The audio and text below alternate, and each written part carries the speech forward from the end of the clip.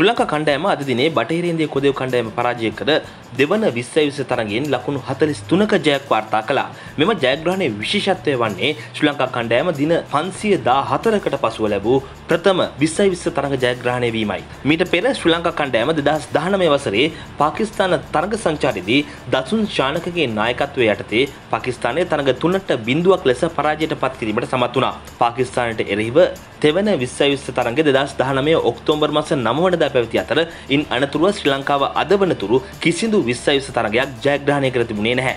පාකිස්ාන තරග සංචාරය සිට ශ්‍රී ලංකාව අද දින දක්වා විස්සයිවිස්ස තරඟ නමයකට ක්‍රඩා කරතියෙනවා. ඉන් තරඟ අටක්ම පරාජයට පත්වූ අතර එක් තරගයක් ජයපරාජයෙන් තොරව අතහැරදැහිමට සිදුවනා. එම නිසා මෙම ජයග්‍රහණය ශ්‍රී ලංකා කණ්ඩෑමට ඉතා විශේෂ ජයග්‍රහණයක් බවයි ක්‍රඩා විචාරකින් පෙන්වා දෙන්නේ. මෙවැනි නවතම ක්‍රීඩා තොරතුරු දැනැනීමට අපගේ SL ස්පෝට් YouTube චනලය දැන්ම සබස්ක්‍රයිබ් කරන්න.